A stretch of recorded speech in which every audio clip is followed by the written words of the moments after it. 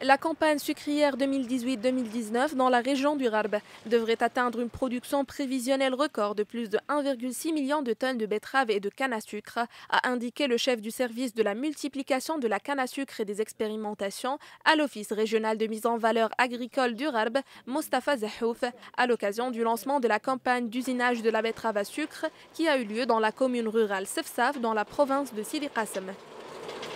Les résultats le prévisionnel, il indique une année euh, record en termes de, rendement. C'est la première fois on va réaliser 65 tonnes de, de, betteraves. C'est du jamais vu au niveau de, la région du Rarb.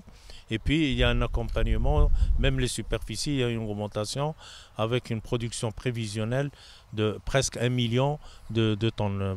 Plus précisément, 975 000 tonnes de, betteraves avec, euh, dès, le départ avec 17% de polarisation. Ça, indique, ce sont les prémices d'une très bonne euh, campagne.